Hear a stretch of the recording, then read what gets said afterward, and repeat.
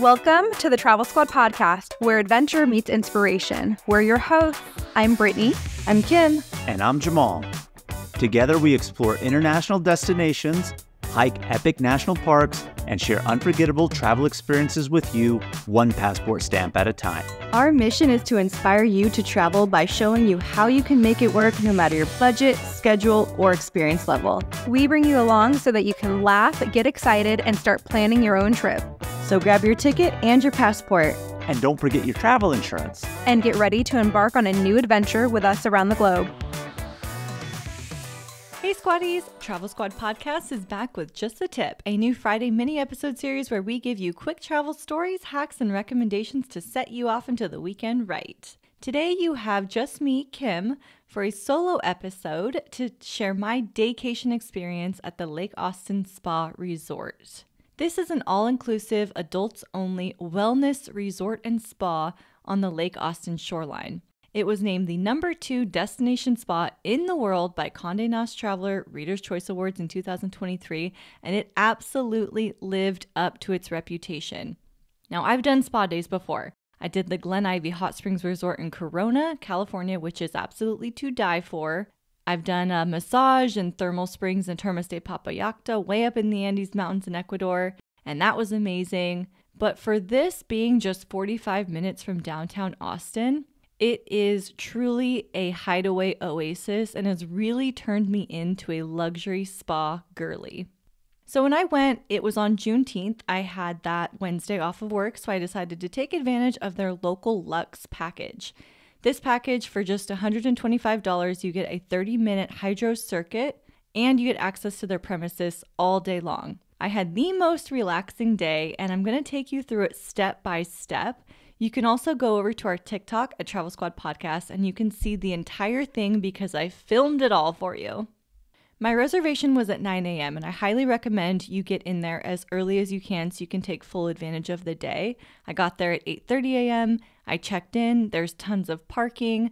Upon arrival, you'll fill out some quick paperwork, then you'll get your robe and your sandals, and you'll change in their beautiful locker room. And then I went over to do the hydro circuit. So, the setting of this is a Turkish style bathhouse. There's this bench and shower space, and it is set up for I think two or three people is the max that it can fit. I was in there by myself when I did it, which is another benefit of going first thing in the morning. When I arrived, they had everything set out. It was a beautiful wooden tray that had the mud in it. It had a little spoon to serve the mud, and then it had these exfoliating gloves for you to rub it on yourself. No one is actually giving this to you, you're doing it to yourself. So you start by rubbing this thermal mud all over your body and rubbing it in with the exfoliating gloves and really exfoliating your skin. Then you go outside to the outdoor, very hot rainforest shower. And then you go right next to it to the very cold cold plunge tub. They do recommend you stay in for at least two minutes to reap the benefits of the cold plunge.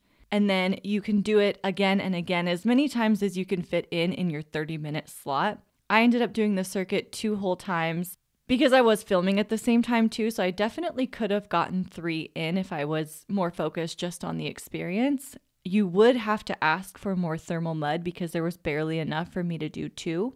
So this was my first cold plunge experience. And the first circuit around, I could barely stand in there. It was so cold, especially after being in the really, really hot shower. I just was not ready for it.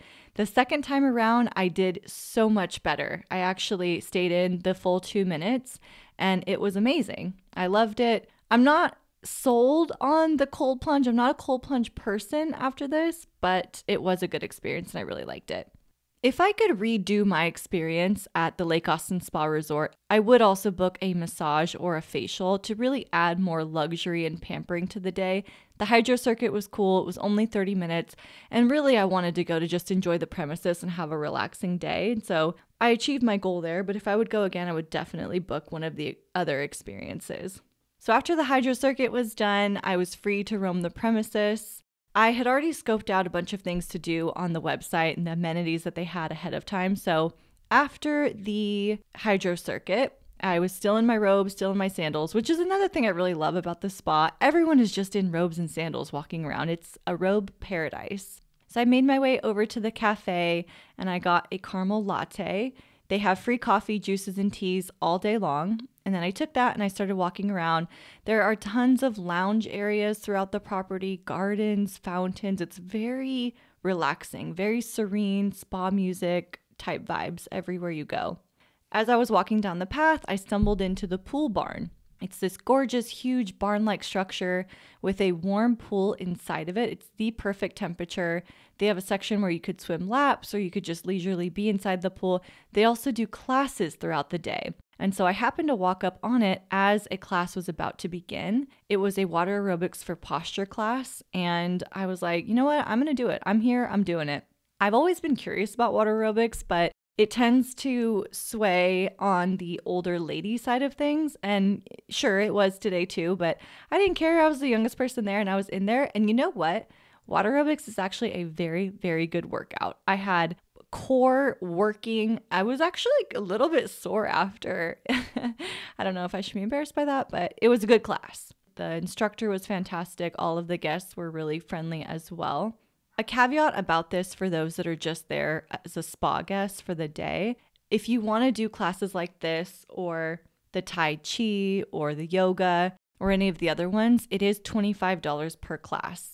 In my opinion, if you're a spa guest, it should just be included as a spa guest, but it isn't. So just keep that in mind. If you are staying at the resort overnight and using these classes as a resort guest, they are for free. So that's good. I would definitely come back and stay there, especially because there were some classes on the schedule that I was really, really interested in, but the class schedule changes every day. There was one on there that's a kind of a floating sound bath experience. You're floating in that pool barn while someone is playing the flute in the pool barn. I really, really wanted to do that one, but it was on another day, not the day that I was there. They have other meditations and other things. So I would love to go back and hit that one up. After my water aerobics class, I was roaming the property a little bit more. I decided to check out the outdoor pool, which was very beautiful. There were tons of places to sit and lounge and day beds. There was a hot tub, and the pool wasn't that cold. It had a little chill to it, but it was really nice to kind of go back and forth between the pool and the hot tub. They also have spa attendants at the pool that will come up so you can order adult beverages. I really love this part of my day. I just sat there and read a book, and it wasn't too busy because it was a weekday. The weather was also very odd for a June day. We've had weird weather in Austin this summer, but a storm was on the horizon, so the temperatures were in the low 80s, which was fantastic for lounging out there with a book. After a little while of lounging out there, I started to get hungry, which is fantastic at this resort because lunch is served included with your spa experience from 11 a.m. to 3 p.m. So I made my way back to the cafe and checked out the buffet that they had that day.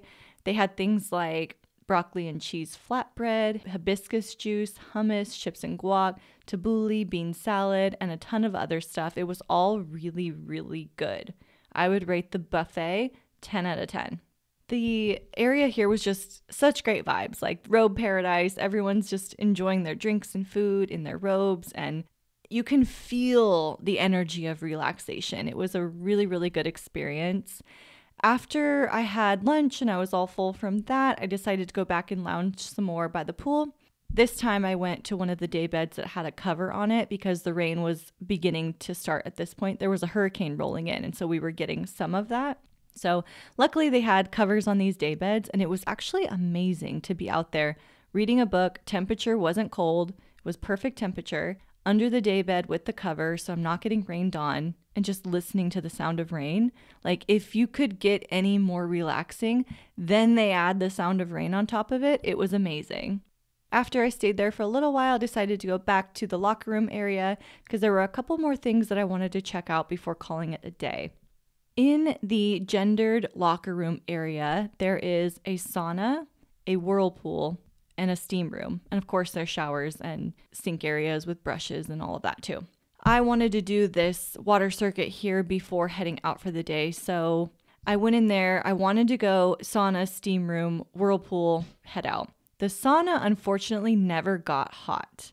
And I had tried it earlier in the day as well, and then I'd come back to it later in the day now and it still never got hot. The spa attendant, bless her heart, she kept trying to play with the settings and get it going, but it never really got hot. There were several women in there that were sitting in there trying to use it. It was a disappointing experience, I will say that. I would have really, really liked to have used the sauna that day. The steam room did make up for it. The steam room was so nice. Like you open the door and you're just hit with a cloud of steam. You can't even see anyone when you're in there. The spa attendant had come in and dropped some eucalyptus essential oils in there, which really made it even more so. I loved that. I did the steam room a couple times throughout the day actually.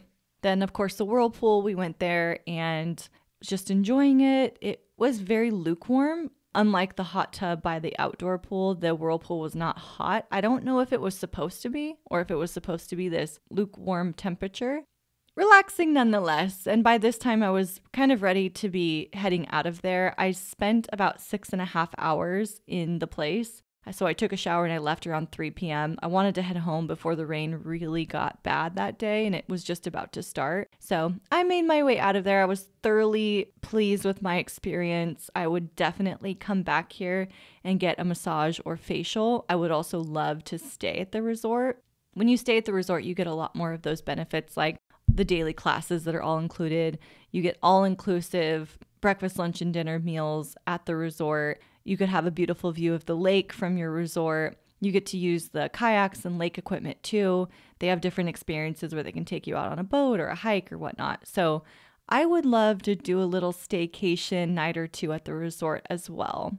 And then one other thing I did see they were doing that looked really, really cool just passed was a four day fitness retreat with NOBULL and a celebrity trainer, Isaac Boots. It looked amazing. I'm really, really into fitness and wellness retreats right now. I actually just booked a seven day fitness and wellness retreat out in Mykonos for 2025. This one looked cool and it was really close to home, so I'll be keeping my eye on it. If they do another one out there, I would love to get in there.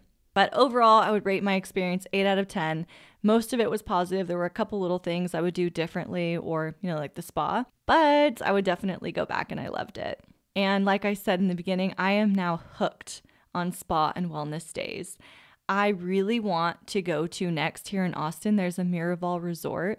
It looks amazing. For about $500, you can do a luxury spa day that includes your $250 spa credit for the massage or facial. And then you have all these different activities that they have there, also the meals and whatnot. So I'm considering that one in the short term while I wait for the Thrive retreats in Mykonos in June 2025. And that's that on that, Squaddies. Thank you so much for tuning in to Just the Tip. Make sure to subscribe, leave a review, and follow us on all the socials at Travel Squad Podcast. And have so much fun traveling this weekend.